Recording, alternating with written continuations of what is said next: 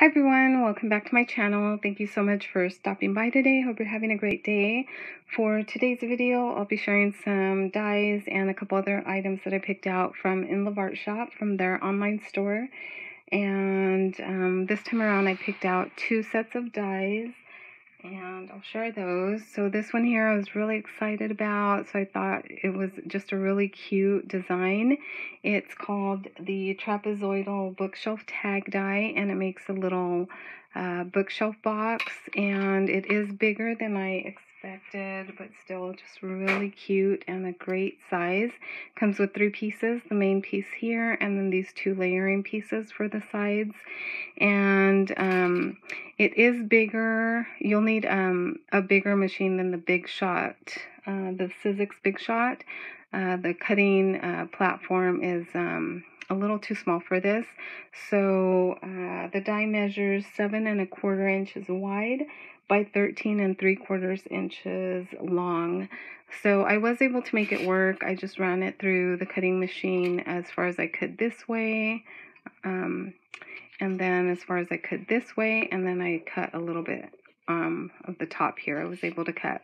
So for the pieces, mainly kind of like the, the middle area here and a, a little piece up here that did not cut through um, that I was not able to run through the cutting machine, I just took my bone folder and kind of burnished it and was, was able to cut through that way. So it still worked and I was able to use it, but I just want to let you know the size on that. And then the other die set that I picked out is this one, super cute. It's uh, um, clip metal cutting dies is what it's called and it cuts out these really cute uh, bulldog clips with the little heart design there and it comes in three sizes so I thought that one was really fun. And then I picked out a sequins mix. This one is called crystal pink. Super pretty and very sparkly. So I did um, put it on this little dish here so hopefully you can really see the sparkle there and the different little sequins. It comes with flowers, uh, regular sequins, some shells in two different sizes. Uh, these little round ones here look like film reels to me. Um, super cute little stars. Um, I just thought it was um, just a pretty color, very sparkly. And I also picked out these really cute um, gummy bear clips and they do come in other colors. They come in a set of two. So I picked out the pink set and the purple set. And they have other designs, other colors. But how cute are these? I thought these would be perfect for some birthday themed projects or just summer, like summer treats. Really cute colors. So I picked those out and I'll go ahead and share what I created.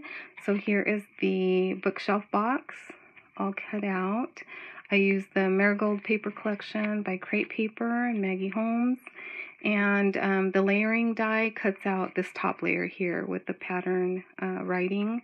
And um, I went ahead and just cut another layer underneath that. Uh, pretty basic shape. So I just measured and cut it um, with a border so that I can add the gold border there for the front and the back here and then it does not come with these, uh, with anything to layer on the front or the back spine here. But like I said, it's pretty um, basic, just a rectangle.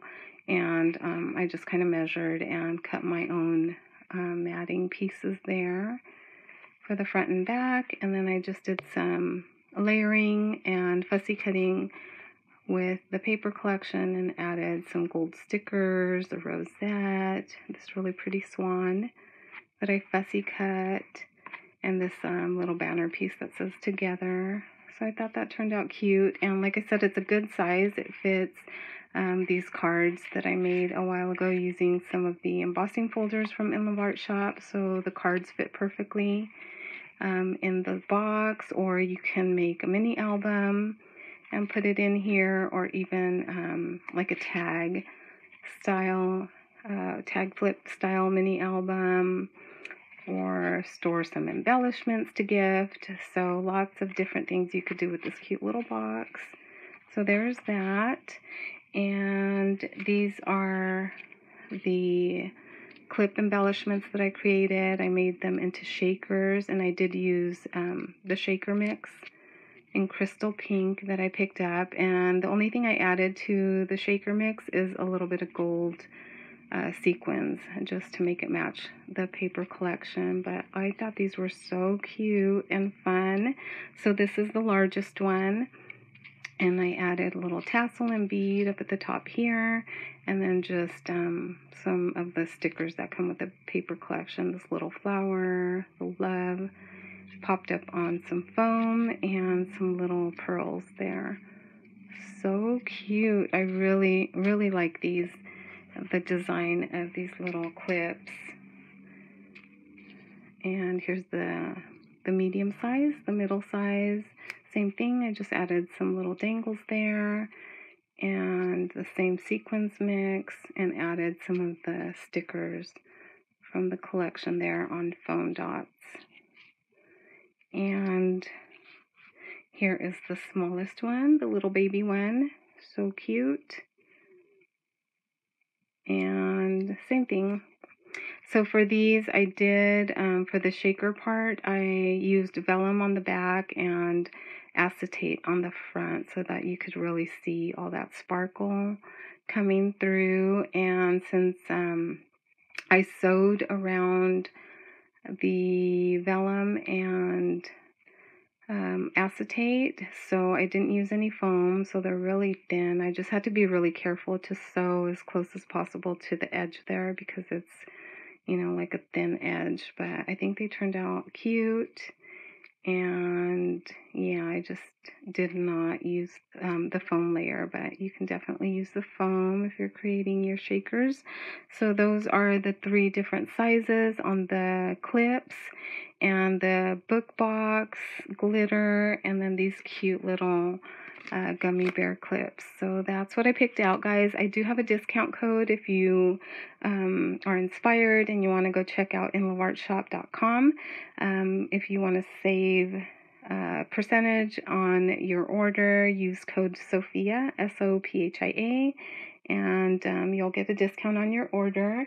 And that's it, guys. I'll link everything in the description box below. Thank you so much for watching, and um, let me know what you guys think. Leave me a comment. I love to see your comments. All right, bye, guys. See you in the next video.